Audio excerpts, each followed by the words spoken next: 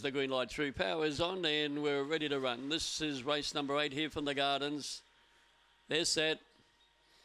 Racing now, one of the fastest size there was Billy Bellows to run to the lead. Moving into second place, Sassy Slider, Bruno Zar. Up and around the outside, Mollified, a good way back to Bowls and Holes, down the back straight, followed by Divers Session. And then came Divers McCurry and Divers Old Mates at the tail of the field. Billy Bellows, the leader on the turn clear. Three lengths in front of Sassy Slider, but he's going too good, Billy Bellows. Come clear to beat Sassy Slider, Bruno Zar.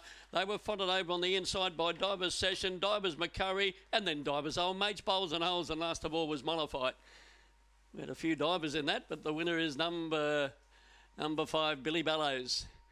Billy Bellows by Shaky Jakey, sweet uh, runner, owned and trained by Mark Ballantyne. Nice win too, running 22.77 in doing so. Two Sassy Slider, Kinloch Brae, Sassy Road for Alan Ivers, and three Bruno Zar, Fabregas, Midnight Zar, Tony DeSera, 523.